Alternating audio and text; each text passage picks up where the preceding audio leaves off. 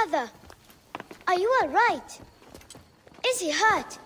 Banged up, bruised, and thirsty. The soldiers did not take kindly to him, but he will be alright. Where's your father, Kawap? We must speak of this. Father is away, on his great work. Mother! Grandfather is hurt!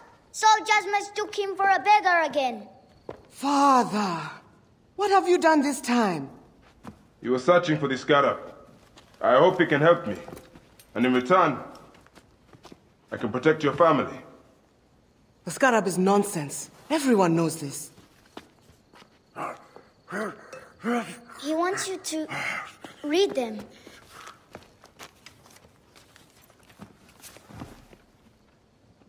Uh, it looks like the scarab is summoning warriors to the city of Letopolis. By the gods! That is where my husband is.